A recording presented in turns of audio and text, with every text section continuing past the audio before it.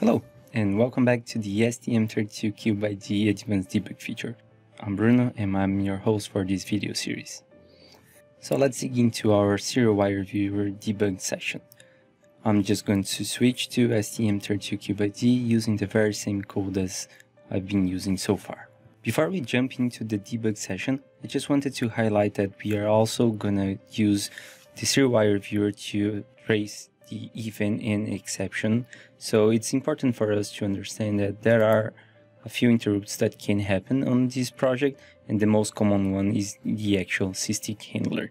So we can see here it's basically doing a simple increment tick and is the one responsible to ensure that our HAL delay actually works throughout the entire code. But I'm also going to use the ITM port. So as you guys remember, I had a macro defined here that is pretty much making use of one of the 32 ITM stimulus ports that we can play. And throughout the code execution, I'm gonna use the very last one, so the third one, to change from one and two prior to going into the main loop. So this will actually allow me to monitor this transition and the time it spent in this part of the code execution as well. Alright, now that we have the basis layout for what to expect, let's start our debug session. Now that I'm on the debug perspective, all I have to do is go to Window, Show View, Serial Viewer, and select the trace log. With the trace log, I can actually go to the configuration trace and starting by the ITM stimulus port, I need to make sure that the number 31 is the one selected because it's the one that I'm referring to on my code. And just to keep and make sure that our log is pretty clean, I'm removing the exception trace log as well. So that way each and every exception is not going to be shown on the log at this point in time. So by hitting OK and starting our trace, I can actually resume the code and I'm just gonna hit suspend right now because the very first information that I want is right here at the beginning. So we have the sync right at the same cycle. We can see that we also have the ITM port number turn one with the data number one. So if we roll back to our code, we can actually see that the ITM port is the number 31 and we selected the value 1 to be placed to it. So this one is actually reflecting to this particular line of the code. And if we do scroll down a little bit, we can actually see that we are calling again the same macro, but this time we are issuing the number 2, and we can see this one reflecting on the code. So the very good information is that you actually have a pretty precise timestamp that it took for performing all these actions. So the initialization of the GPIO, the DMA, the UART, and the printf function.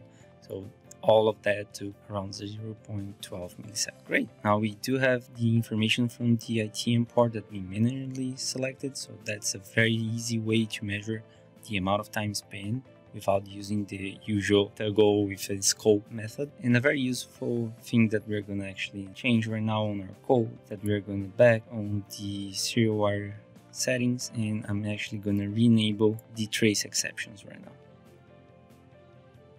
So by adding the trace exception to rerun, we can now see that the exception is recurring is actually the SysTick. So by pausing the program, I can actually go into the trace log and I can see that the majority of the exceptions was caused by the SysTick. As you may know, the SysTick is set to happen every 1 millisecond. So if we analyze the timestamp between uh, the trace exceptions, we can actually see the 1 millisecond being held here and here and here. So it's always one millisecond between the execution trace log.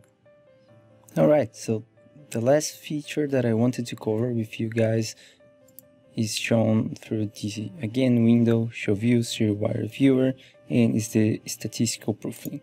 This is the only one that requires the application to be running for a while to then uh, how to show the information. So to ensure that we all have the same configuration here, I'm enabling the PC sampling, the timestamps, I've kept the previous trace exceptions, and I'm also using uh, only the port 0 as the default I removed the 31 for this particular measurement. So by hitting OK, I can start the trace and then start the code execution.